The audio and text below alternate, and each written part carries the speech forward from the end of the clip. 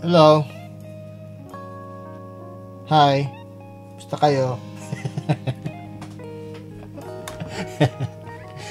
ah, ala, ah, simple repair lang po siguro to dahil lang ah, issue ay yung camera, yung rear camera ay kung titingnan mo dito ay may tubig nabasa daw sa ano inabutan siya ng malakas na ulan eh nabasa siguro.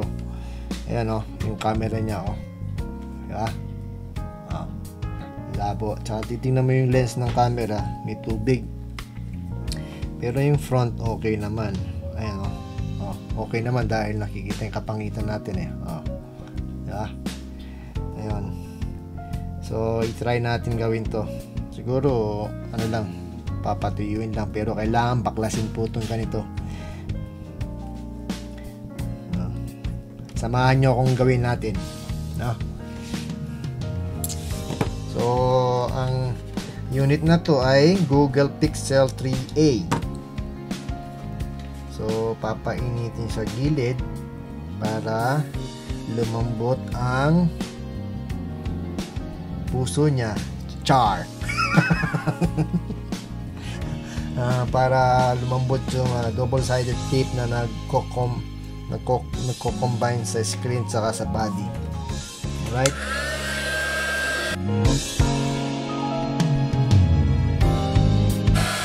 Ang init eh, yung parang uh, tamang-tama lang. Yung medyo, pag medyo napapasok ka na, okay. Huwag lang lang titirahin yung pinaka-LCD. Mas maganda yung gilid lang.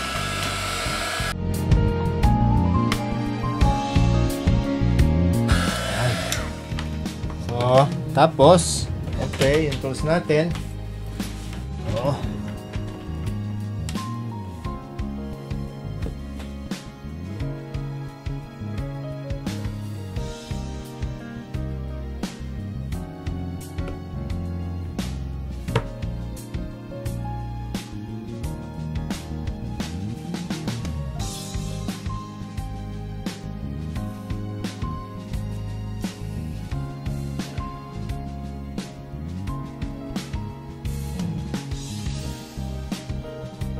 Tinulungan ko lang ng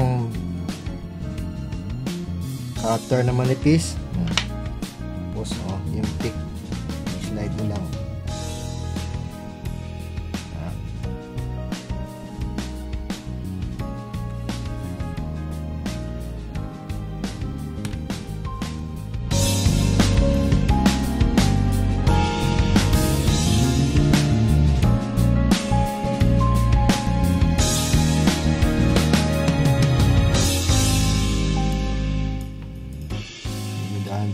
siyempre yung flex cable. Yan o yung flex cable yun nandito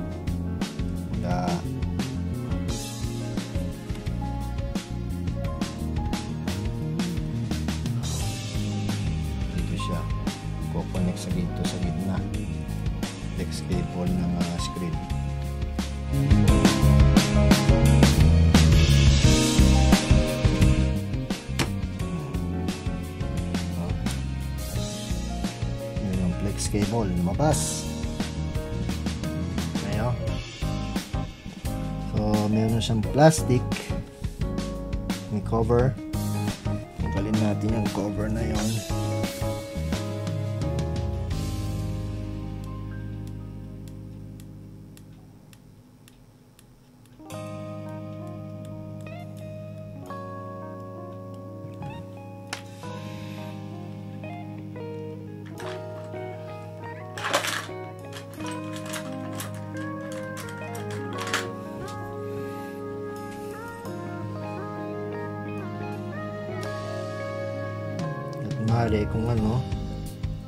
i-preserve nyo yung cover para ano po magamit nyo ulit. Kung pwede siyang ano hindi siya masisira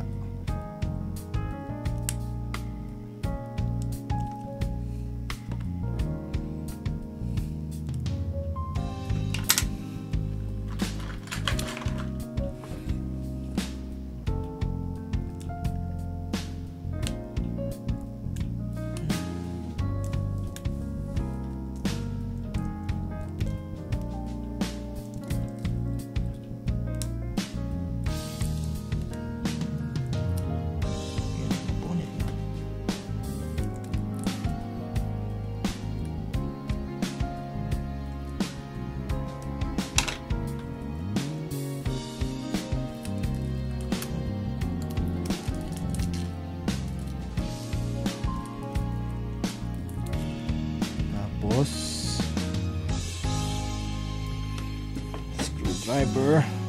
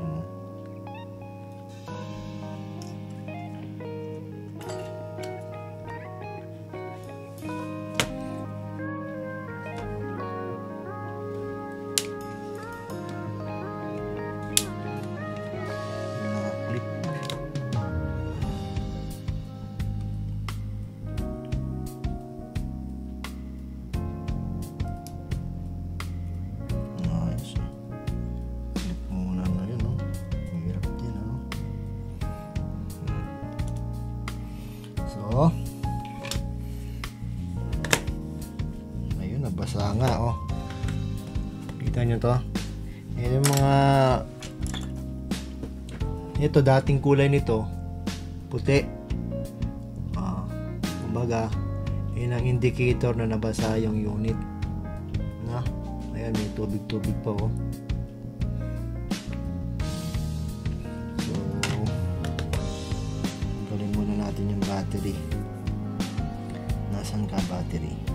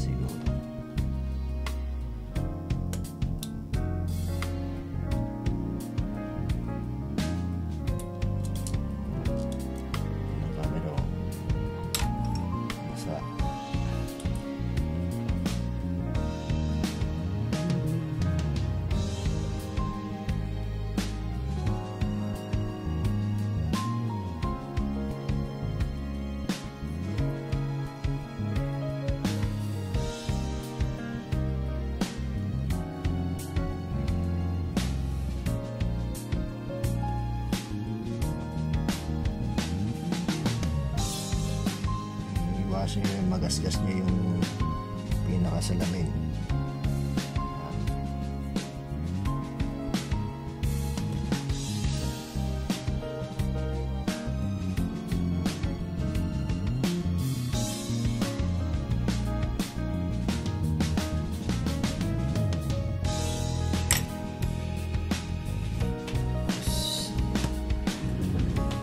Duster natin.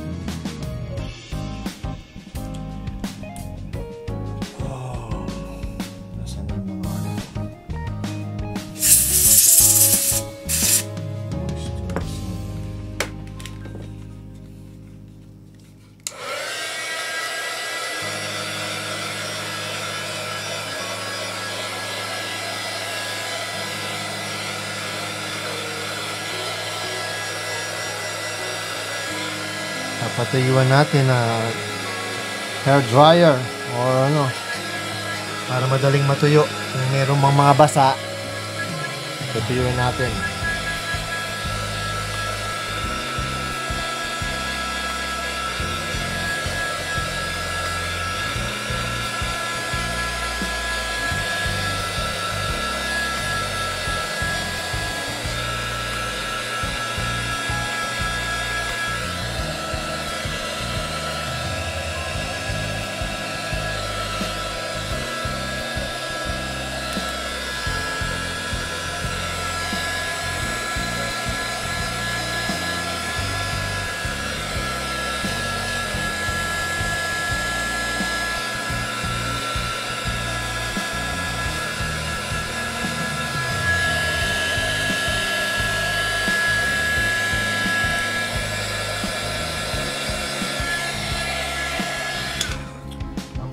problema, itong camera mismo, mayroong pumasok sa mismong lens na yung tubig. So, maandar naman siya. Ngayon, itatry natin siyang ah, kung wala kayong yung mga ano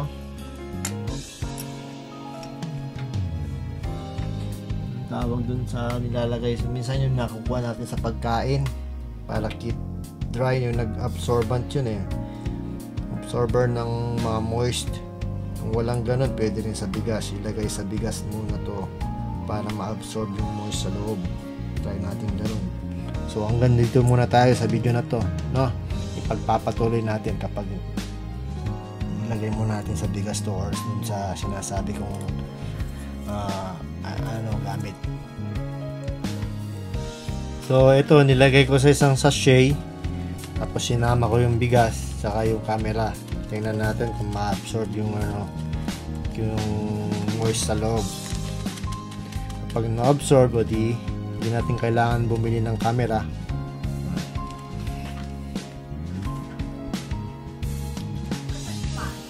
Hello!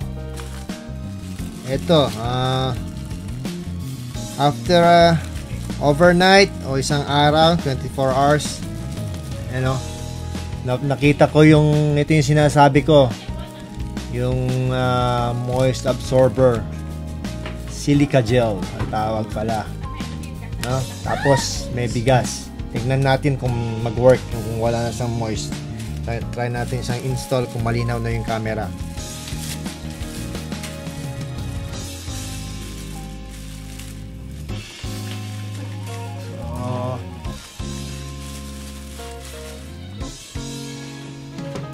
Clear na siya.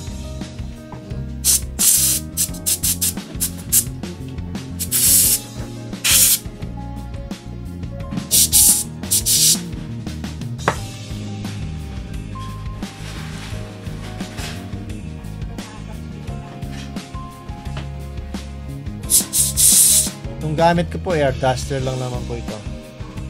Ha? Okay.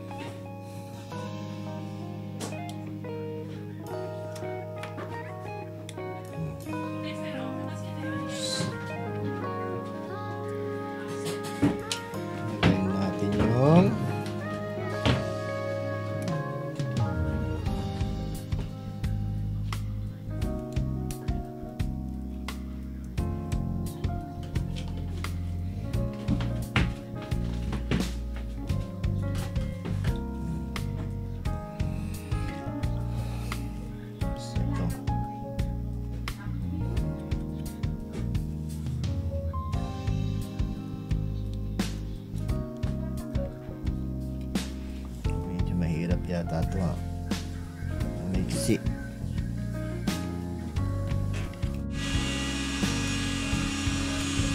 Yun! Masok! Pumasok pala. Ganitong posisyon. Yan. Puposisyon mo pala siyang ganon.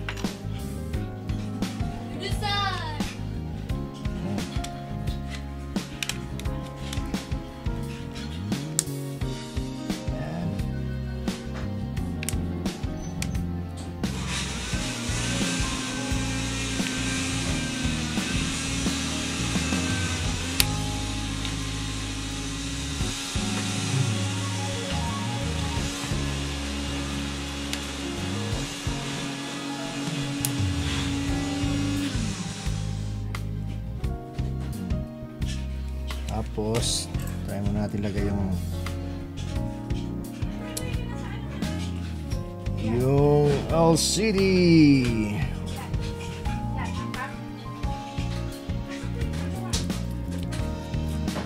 Ang hirap dito, usually kasi ako, bago ko maglagay ng LCD, ha? Bago maglagay ng LCD, dapat wala yung battery. Kaso ito, walang access sa battery.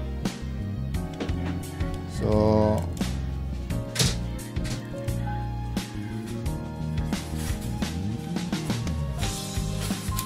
tayong magagawa doon.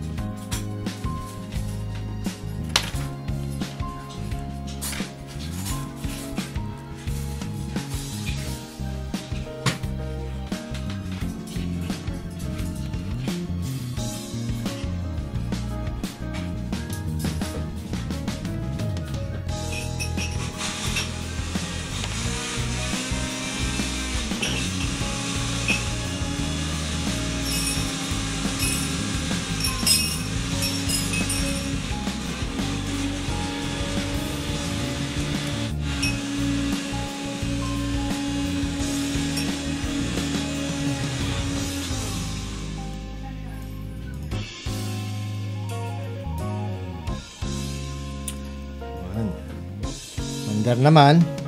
Tingnan natin yung camera. Sana naging ah, success yung bigas saka yung silica gel. Silica gel pala. Yung silica gel. No? Yan ang silica gel at saka bigas. Sana na-absorb yung nawala yung ah, moist ng camera.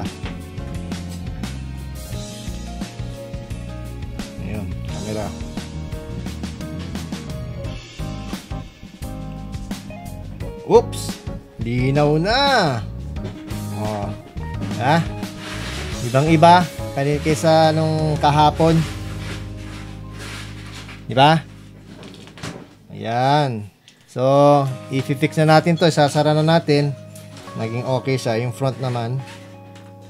Hmm. Okay.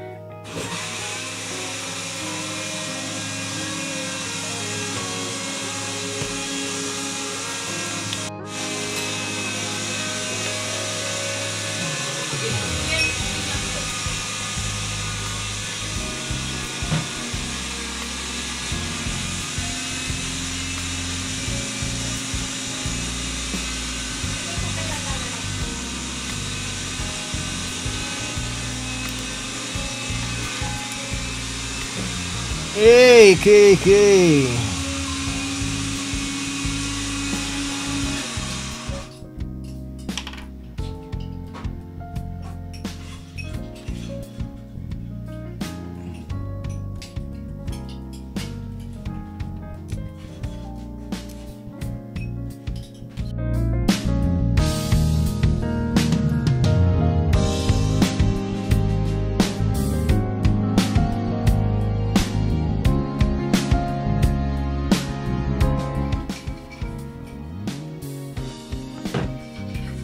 Okay. Ayos.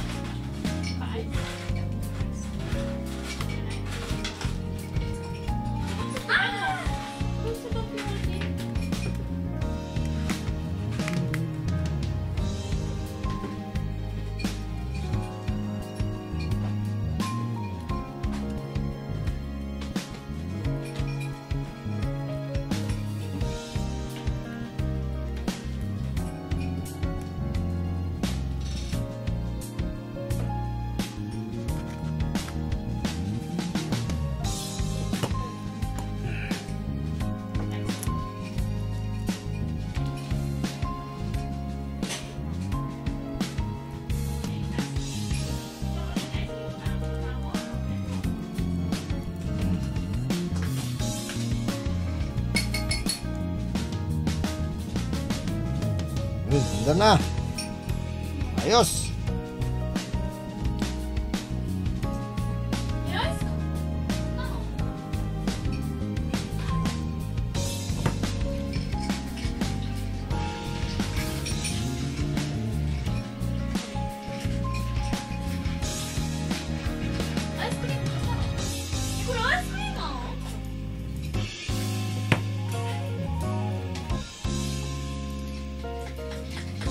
Okay.